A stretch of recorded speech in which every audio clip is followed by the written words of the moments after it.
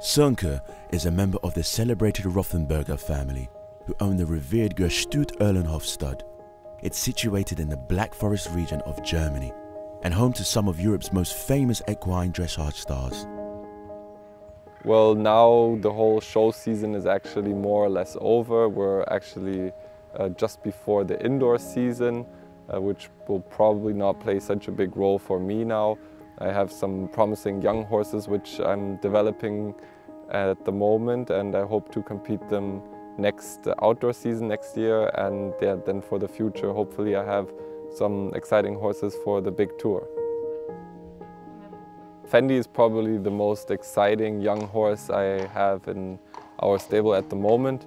Um, yeah, I personally believe that he's a super talented horse with a lot of potential and he actually yeah, shows quite some skills for only being seven year old and yeah so this horse I'm really looking forward to and I can't wait to show him off.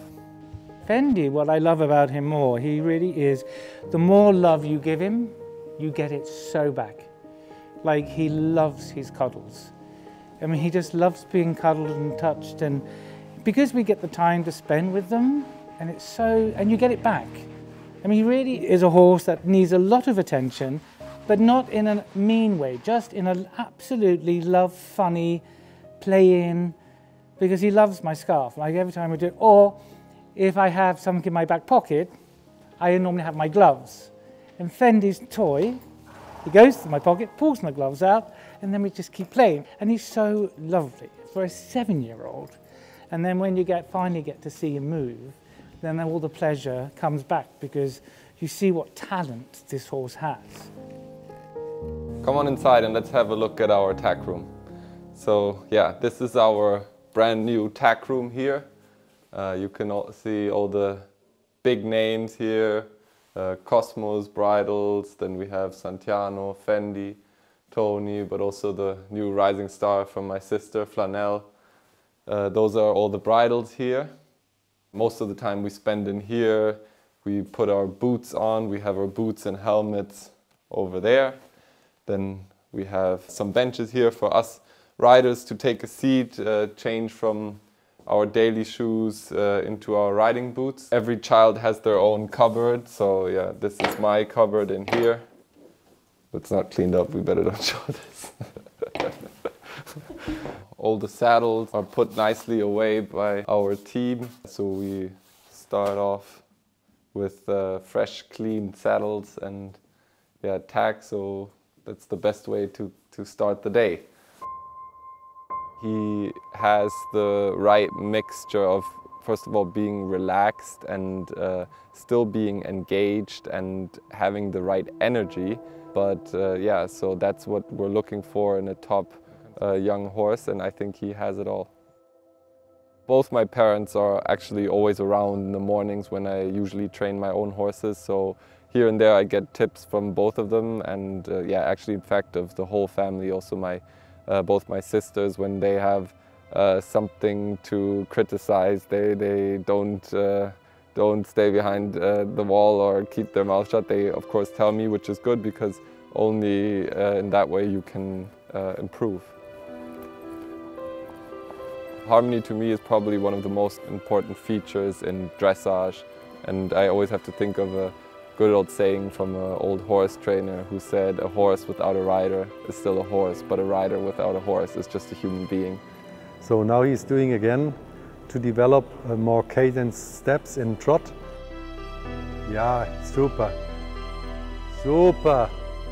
Yeah, well, basically has three fantastic gaits, which nowadays is quite important. So that's uh, a big plus point, but then also the ease and the, the, the cadence he has in, in, in his uh, movements are quite phenomenal to me. Yeah, super. That was really, really good.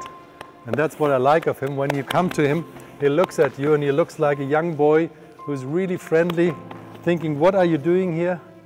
And he's really a positive character. What I love about this horse is every day very positive coming out of the stable. He looks at you like a young boy who says, come on, let's work. I'm so bored to be in the box. I want to do something and work together with you. And that's really when you look now in his face, when he's moving there, when he's walking there, he's saying, wow, I did something special today. I'm a happy horse. And that's what we are doing that for, to have happy horses, happy horse, happy life.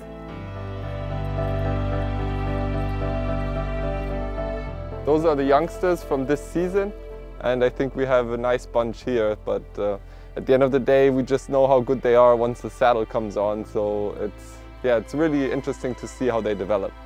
We have foals which have Totilas for example as a grandfather uh, we also have Vivaldis, we have a full brother of Fun Vivaldi who was the reserve champion stallion in uh, Westphalia so yeah we have some uh, nice, uh, nice foals here, I think, and yeah, we'll see how they develop.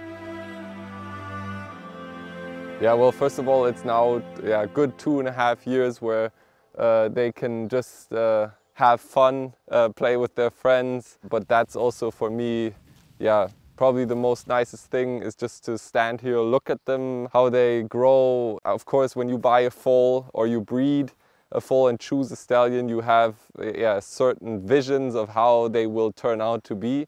And then to actually come here every day and see if it goes in the direction what we expect or uh, in a different direction, that's, that's actually the, the thrill about it, yeah. This one's a really special one. It's uh, a son from Flanell, the Grand Prix horse of uh, my sister Semmieke, and the father of this one is uh, Jameson. So a stallion that competed up to yeah, world championships and who looks quite promising towards Grand Prix. Is quite exciting to see. If he just gets half as good as his mother, I think we're more than happy to have him in our stable, definitely. So here we're at the King's stable. Um, this is Cosmo. Um, yeah, he's feeling good. We just came in from his time out on the grass field. So yeah, he's doing well and looking forward. He loves his sugar. Just licking, no biting.